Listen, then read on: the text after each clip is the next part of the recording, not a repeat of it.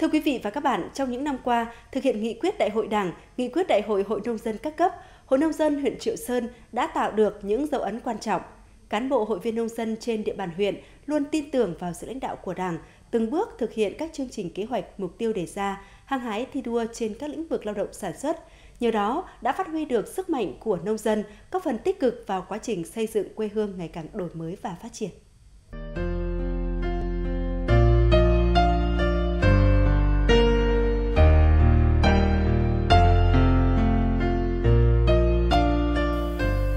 Đình hội viên nông dân Lê Đình Sơn ở thôn Thái Nhân 2, xã Thái Hòa, huyện Triệu Sơn, trước đây là một trong những hộ thuộc diện khó khăn của địa phương. Được sự giúp đỡ về nguồn vốn và định hướng phát triển kinh tế của hội nông dân,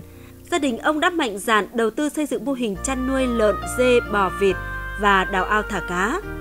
Từ việc lấy ngắn nuôi dài, đến nay ông Lê Đình Sơn đã xây dựng được trang trại bề thế, mang lại nguồn thu nhập ổn định cho gia đình được cái sự quan tâm của chính quyền địa phương. Hai nữa là được cái các cấp lãnh đạo từ huyện đến xã, rồi là đặc biệt là cái hội nông dân tập thể à, là chú trọng đến động viên và cho hỗ trợ vốn, tập trung vốn đầu tư vào xây dựng trang trại. Cho đến nay là thu hoạch cứ càng một năm tiến lên một ít. À, cứ năm trước à,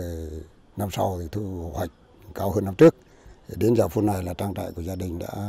ổn định về con giống, kể cả cá, bò, rê, lợn, vịt gà nói chung là cái công lao động hiện nay là có thu nhập cao hơn.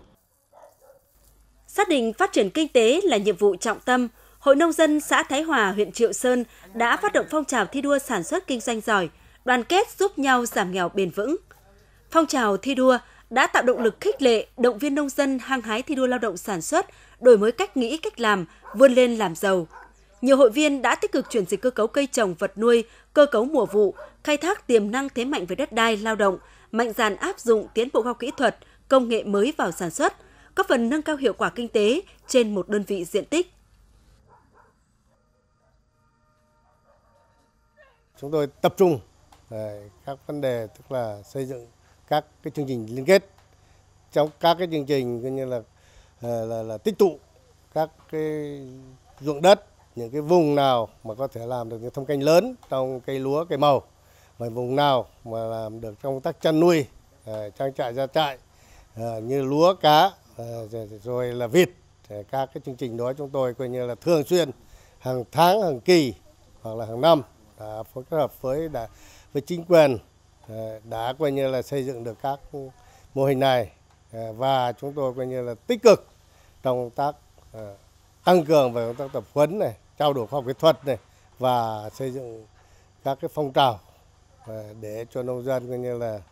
từng bước trong chương trình xóa đói giảm nghèo tốt hơn, bền vững hơn.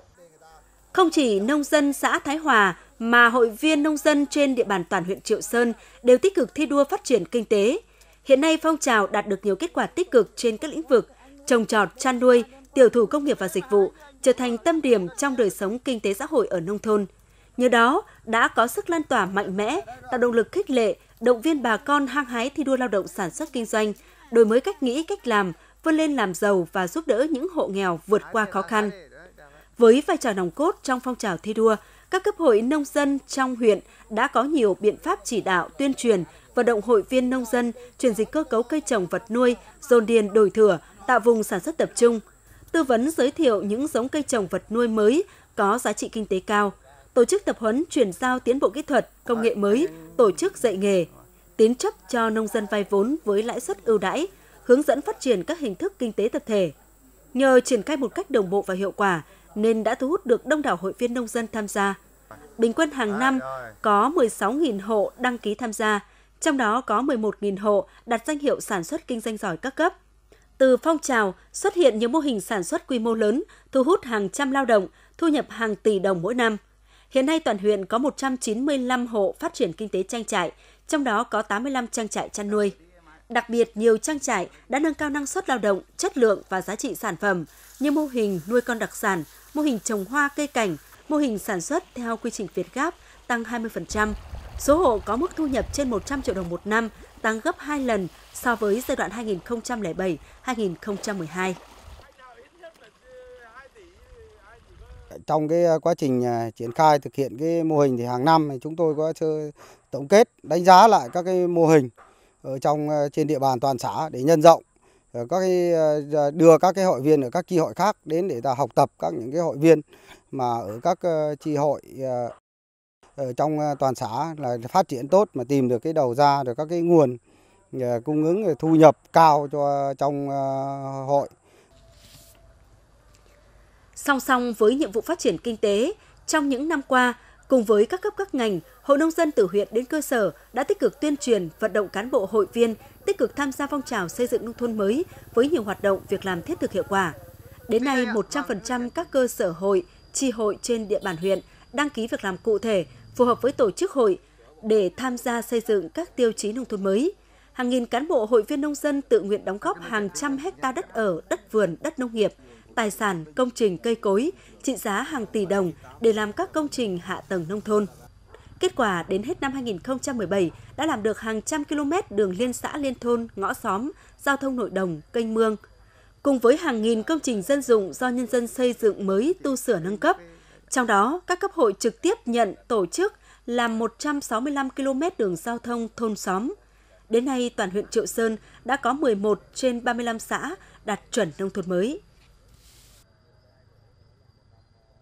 Trong cái phong trào xây dựng nông thôn mới ở địa phương thì vai trò của hội nông dân là một trong những cái tổ chức đóng góp rất tích cực vào cái công uh, cuộc xây dựng nông thôn mới. Ví dụ như là cái phát triển sản xuất, xây dựng các mô hình kinh tế, xóa đói giảm nghèo, à, đặc biệt là trong cái phong trào à, hiến đất để mở mang đường làng ngõ xóm cũng như là xây dựng các cái khu công sở, nhà văn hóa thôn thì vai trò của hội nông dân đóng góp rất tích cực. Ngoài cái việc tự hiến đất còn tuyên truyền vận động các cái tổ chức khác cùng tham gia À, đóng góp thêm ngày công rồi à, tiền của vào cái công cuộc và đến cái kết quả thành công của cuộc xây dựng nông thôn mới ở bây giờ ở xã Tà Vực thì cái vai trò đóng góp của hội nông dân rất là tích cực và rất là quan trọng và hiện tại thì hội nông dân đang là cái hạt nhân trong cái công cuộc à, xây dựng xã Tà Vực thành trở thành xã cứu mẫu vào năm 2020. Để có được kết quả đó, trong những năm qua, Hội Nông dân huyện Triệu Sơn đã không ngừng đổi mới phương thức lãnh đạo chỉ đạo và điều hành. Ngay từ đầu nhiệm kỳ, hội đã chủ động xây dựng quy chế làm việc và chương trình hành động cụ thể thiết thực. Hàng năm bám sát nội dung chương trình để tổ chức thực hiện đánh giá, giả soát chỉ tiêu thực hiện nghị quyết đại hội giữa nhiệm kỳ, để từ đó thống nhất điều chỉnh, bổ sung một số chỉ tiêu cho phù hợp với điều kiện thực tế và nhiệm vụ chính trị của địa phương.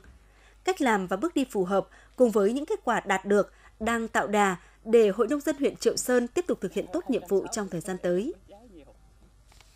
Tiếp tới đây sẽ là mở các lớp dạy nghề dạy nghề cho nông dân. Để rồi cho nông, để cho nông dân, dạy nghề cho nông dân mới là vấn đề quan trọng. Chứ nếu chúng ta mà không làm cái vấn đề dạy nghề và định hướng cho nông dân thì rất khó. Cho vậy chúng tôi sẽ kết hợp với trung tâm dạy nghề của tỉnh hội để dạy nghề cho nông dân, để tìm ra một những cái nghề mới và những cái phát sinh mới để ứng dụng cái tiến bộ khoa học tốt để đưa cái năng suất và giá trị cái hàng hóa trên một đơn vị diện tích tăng lên. Đặc biệt là cái chương trình tái cơ cấu ngành nông nghiệp mà đang thực hiện chính sách của đảng và nhà nước thì đặc biệt hội nông dân huyện nhà đang tập trung quan tâm để rồi hướng dẫn bà con nông dân cùng với chính quyền để chúng ta dồn điền chúng ta dồn thửa lớn lại và chúng ta tạo điều kiện là những cái vùng sản xuất thâm canh cây lúa không năng suất hiệu quả kém thì chúng ta chuyển sang cây trồng khác. Chúng ta có năng suất hiệu quả kinh tế hơn để góp phần nâng cao đời sống cải thiện nhân dân. Để để so đối giảm nghèo bền vững.